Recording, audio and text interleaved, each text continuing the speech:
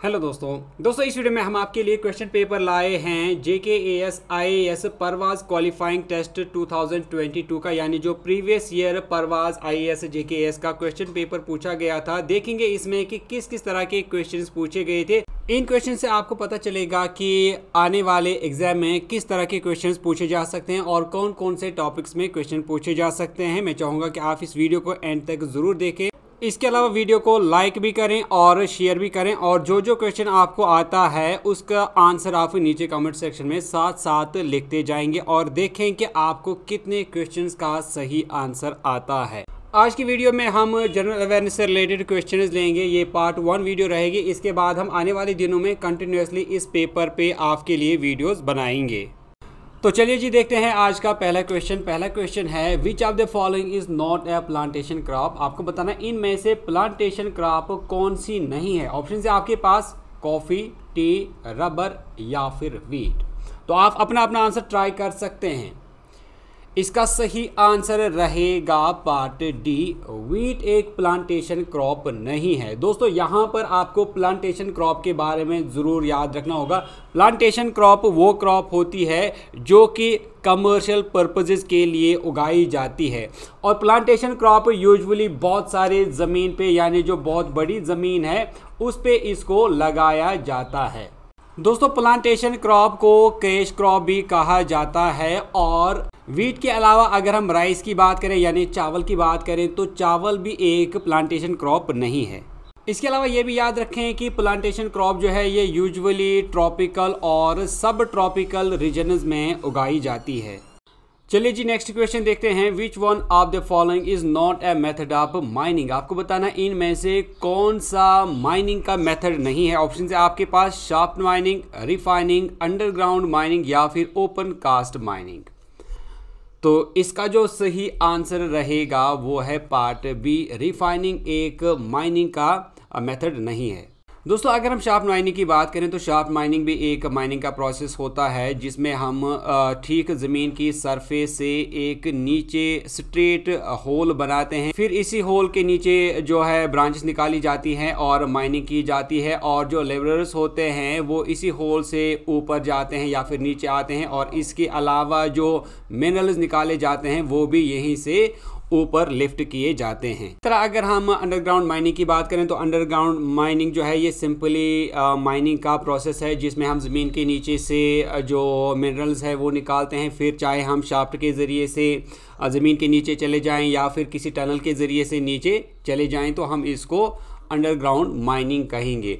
और जो इसके बाद नेक्स्ट इंपॉर्टेंट चीज़ है, वो है open cast mining open cast mining क्या होती है? ये सिंपली ज़मीन के ऊपर एक बहुत बड़ा गड्ढा किया जाता है और ये बिल्कुल ओपन रहता है और इसी गड्ढे में खुदाई की जाती है और जो मिनरल्स है वो निकाले जाते हैं। सारे जो मजदूर वगैरह जो चीज़ें होती हैं, वो बिल्कुल ओपन में होती हैं और यहीं से फिर वो एक्सट्रैक्ट किया जाता है। और इसी तरह अगर हम रिफाइनिंग की बात करें तो रिफाइनिंग एक प्रोसेस है जिसमें हम इम्प्योरिटीज़ को अलग करते हैं रिमूव करते हैं किसी भी सब्सटेंस से। Next question coffee plantation in Brazil are known as आपको बताना था कि ब्राज़ील में जो कॉफ़ी फील्ड्स होते हैं, उनको क्या कहा जाता है? ऑप्शन से आपके पास डाउन्स कैंपस फेजेंडास या फिर पैम्पास तो इसका जो सही आंसर है, वो है पार्ट सी जो ब्राज़ील के कॉफ़ी फील्ड्स होते हैं उनको फेजेंडास कहा जाता है। दोस्तों जब हम डाउन्स की बात करते हैं तो ये ग्रास आ, ग्रास फील्ड्स होते हैं। ज़्यादातर ये ऑस्ट्रेलिया में पाए जाते हैं और इसके अलावा इंग्लैंड में भी इनको पाया जाता है। ये टेम्परेट ग्रास लैंड्स होते हैं। अगर हम कैंपास की बात करते हैं तो कैंपास भी ये ग्रास लैंड्स होते हैं जो कि साउथ अमेरिका और ब्राज़ील में पाए जाते हैं। इसके बाद अगर हम पैम्पास की बात करते हैं तो पैम्पास भी ग्रास लैंड्स होते हैं, जो कि बहुत ही फर्टाइल होते हैं। ये साउथ अमेरिका और अर्जेंटीना में पाए जाते हैं। नेक्स्ट क्वेश्चन की बात करते हैं which of the following colonial super power had monopoly over sugar cane plantation in Indonesia आपको बताना है कि इंडोनेशिया में जो कॉलोनियल सुपर पावर्स राज करते थे उस टाइम पे तो उनमें से किसने शुगर कैन की प्लांटेशन पे अपनी डोमिनेशन रखी थी, कौन शुगर की मोनोपली करता था? तो ऑप्शन से आपके पास डच फ्रेंच ब्रिटिश या फिर अमेरिकन तो इसका जो सही आंसर रहेगा वो है पार्ट ए दोस्तों डच ने इंडोनेशिया में शुगर कैन की प्लांटेशन पे पूरा जो मार्केट है, उसको अपने कब्ज़े में किया था और यहाँ से वो हाई क्वालिटी जो शुगर है, उसको एक्सपोर्ट करते थे अपने मुल्कों में और जो लो क्वालिटी शुगर होता था, वो यहाँ पर यानी इंडोनेशिया या इसके आसपास के मुल्कों में बेचते थे।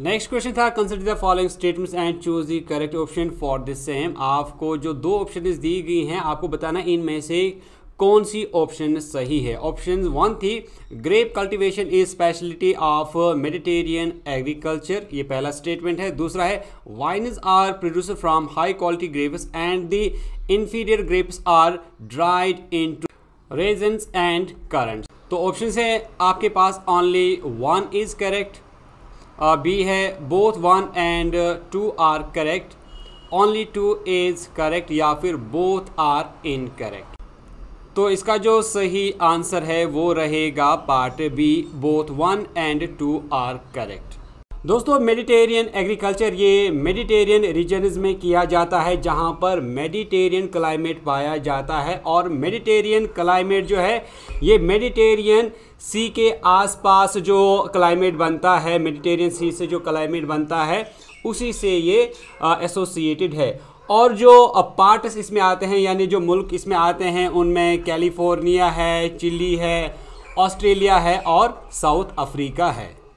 दोस्तों, अगर हम मेडिटेरियन एग्रीकल्चर में क्रॉप्स की बात करें तो जो अहम क्रॉप्स हैं, उनमें वीट है, उनमें बारले है टमाटो है ग्रेप्स है ग्रेप्स के अलावा ऑलिव नेक्स्ट क्वेश्चन है आपको कॉलम फ़र्स्ट को कॉलम सेकंड के साथ मिलाना है। जमशेदपुर को बताना है क्या कहा जाता है, इनमें से इसी तरह भुवनेश्वर को क्या कहा जाता है, गाजियाबाद को इनमें से क्या कहा जाता है मसूरी को क्या कहा जाता है और लास्ट में गोवा को क्या कहा जाएगा? आपको ये मैच करना है, कौन किसके साथ मिलेगा? इस क्वेश्चन का आंसर मुझे आप खुद नीचे कमेंट सेक्शन में लिख कर बताएँगे। तो दोस्तों, ये थी पार्ट वन वीडियो इस पेपर से रिलेटेड उम्मीद करता हूँ कि आपको वीडियो अच्छी लगी होगी। वीडियो अच्छी लगी तो वीडियो को लाइक करने के साथ साथ शेयर ज़रूर करें।